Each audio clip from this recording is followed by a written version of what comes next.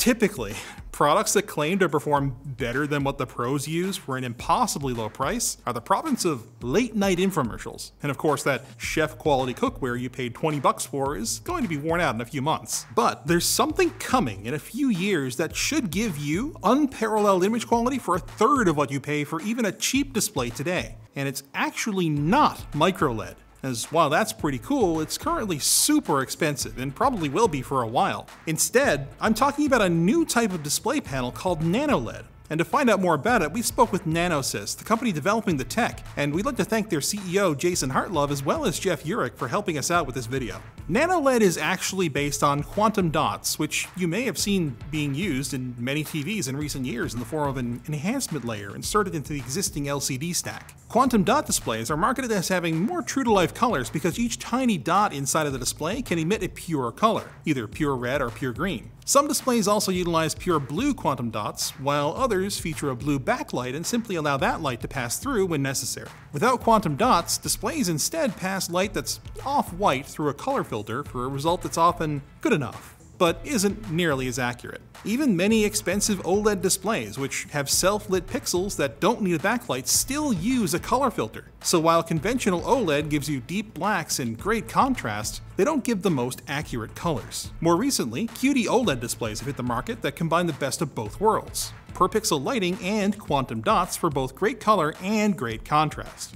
These displays lose the enhancement film in favor of inkjet printing the quantum dots directly onto the display substrate, but they're still using light emitters to excite the quantum dots. And those OLED emitters are really expensive thanks to a complicated manufacturing process that requires them to be vaporized in a vacuum chamber at 700 degrees Celsius, not to mention the pricey sheets of special glass that actually form the panel. But NanoLED promises the same picture quality without all this complicated engineering, along with some other awesome features we'll tell you about right after we thank Seasonic for sponsoring this video. Check out Seasonic's Prime TX 1000 watt power supply, a great choice if you're building a high performance system. It features an 80 plus titanium rating, which means less power gets wasted. It's also fully modular and features hybrid fan control to control overall fan noise with their fluid dynamic fan bearings. And it's all backed by a 12 year warranty. Learn more at seasonic.com or through the links below.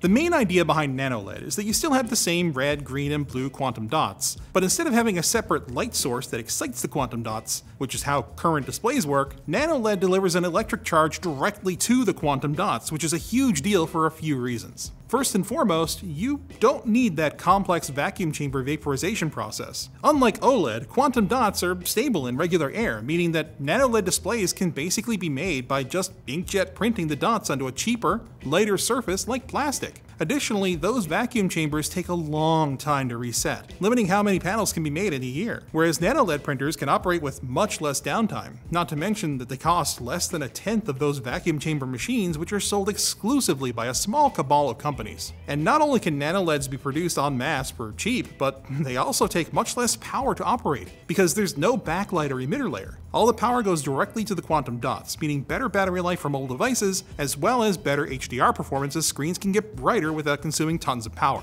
And unlike OLEDs, you don't have to worry about wear over time or image burn-in. A nano-LED panel can also be made to only about half a micron thick. So aside from conventional displays, you could have light up decals, car turn signals, and unobtrusive wearables, where you can just get a TV that can be wall mounted without being an Olympic powerlifter. Although use cases like these might sound speculative at the moment, several major companies, including Samsung, Sharp, and TCL, are already looking at developing NanoLED products, and Nanosys expects the first consumer devices featuring the technology to hit the market sometime around 2026. Hopefully, NanoLED will make high quality displays so cheap that Black Friday specials won't even matter anymore. But we won't stop you from getting up at 3 a.m. to go wrestle someone for an Instant Pot.